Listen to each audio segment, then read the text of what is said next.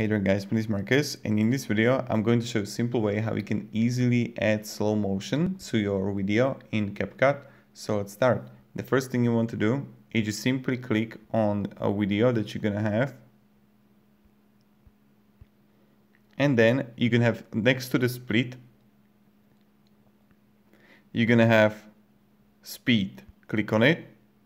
And then you're like normal or curve. Click like normal and then right here I'm going to decrease it. In the moment when you're going to decrease it the whole video is going to be longer of course. Then if I'm going to make it faster 0.5 look at this. The video is much longer. So this is pretty much it how you can do it.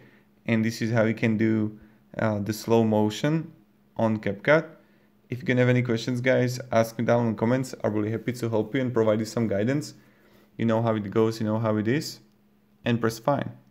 And then you have like curve here. So you can change the curve that it's going to be faster than slower, or you can create your custom curve or hero curve. So that's pretty much it how we can do it.